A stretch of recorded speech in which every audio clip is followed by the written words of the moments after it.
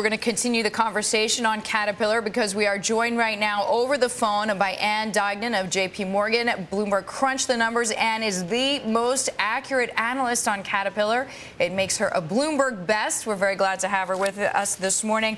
So, Ann, this is a blowout quarter for Caterpillar, but you and I were speaking earlier, and you said, as usual, it's not so much about the quarter that's passed. It's about what's coming for Caterpillar, and it seems like they see sales for next year near $50 billion. I know the Wall Street estimate was around 47 billion, so it just shows that the parts of the world that we've been talking about are growing. Caterpillar sees that as well, right? Yeah, totally. Um, we were just talking earlier about, uh, I was down in Brazil about three weeks ago, and demand for equipment, particularly Caterpillar's equipment, is up 75% year over year in the region uh, both on the back of uh, investment in infrastructure in Brazil, but also on the back of strong demand for hard commodities from places like China. So this was a really important quarter for Caterpillar. It's a new CEO. Uh, they have a goal that they've reiterated time and time again of achieving 55 to 60 billion dollars in revenue by 2012 and 8 to 10 dollars of earnings by then.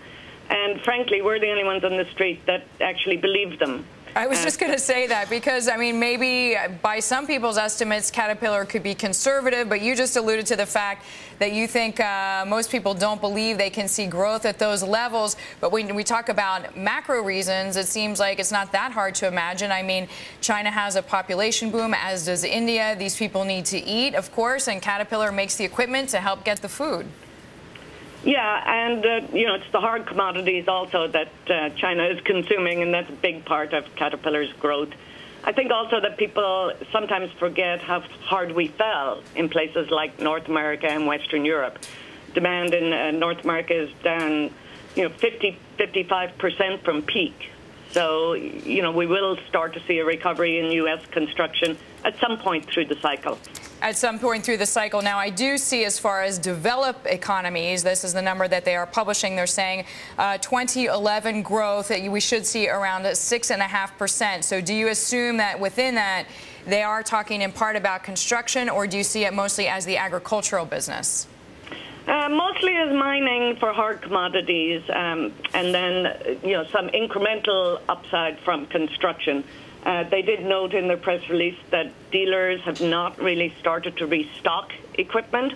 And so if we see any signs of life in either residential or non-residential construction in the U.S., uh, we could see a significant upside to even Caterpillar's outlook at this point because it's been five years since we saw the peak of the cycle in the U.S. And the stock trades around $80. It closed yesterday at 80.32. Its current PE is around 25. Uh, where is the right valuation? Is it now, or is there a little bit more room to grow?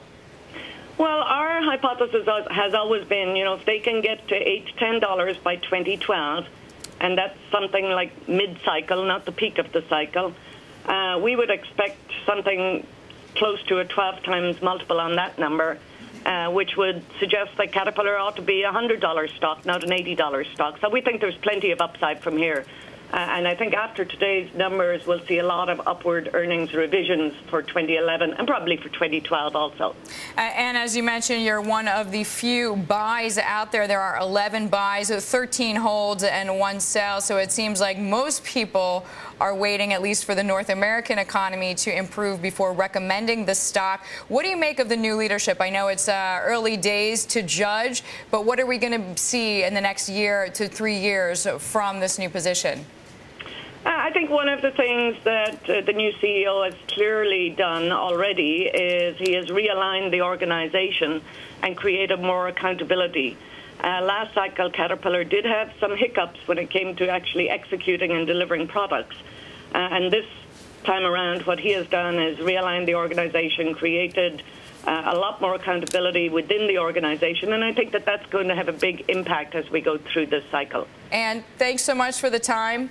Ann Duignan joining us there from JP Morgan. She is a Bloomberg best, the most accurate forecaster on Caterpillar.